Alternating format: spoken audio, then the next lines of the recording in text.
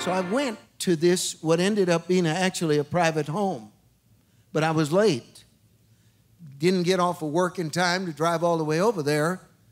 And they said the most strange thing a Presbyterian had been baptized in the Holy Spirit, and he was a pastor of a Presbyterian church who spoke in tongues, and he was going to give a word to college students. So I drove 76 miles, got there late, sat in the back. Nobody could see me, the place was packed. All of a sudden, he stops.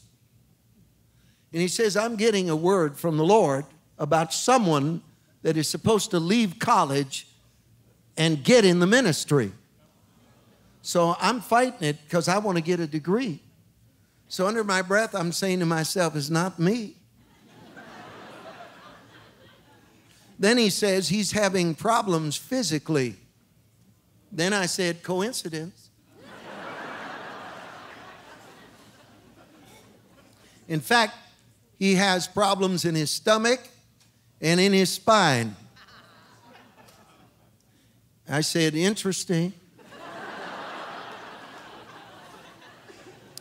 and then he said, and you are called to leave. Your grades were great last quarter and they're lousy this quarter because you belong in the ministry.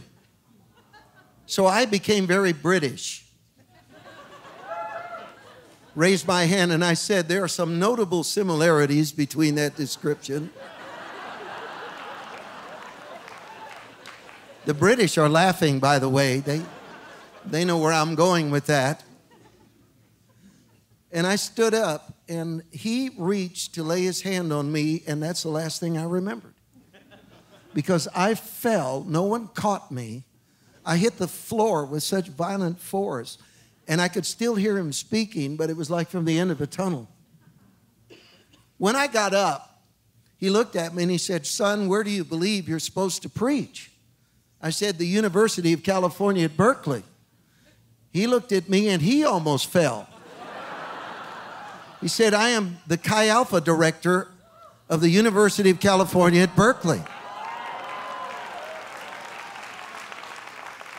I drove back to Redding that night, got all my stuff, owned a Volkswagen.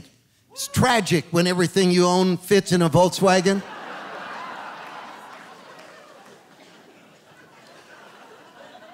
and I drove to Berkeley and moved into a tool shed. I lived in the back of the Chi Alpha Center on 2530 College Avenue, and every day I would go out, pray in tongues till the Lord would reveal to me the details of a person's life, and I would lead them to Christ. And that birthed a moment and a miraculous thing. But every once in a while, Earl Johnson would call me I need you to come and preach. He told me I'm pastoring now a church in Redding, Bethel Church. Came back, and the glory of God would come in our meetings, and to God be the glory for that. He would bribe me with Darlene's pies and roast beef.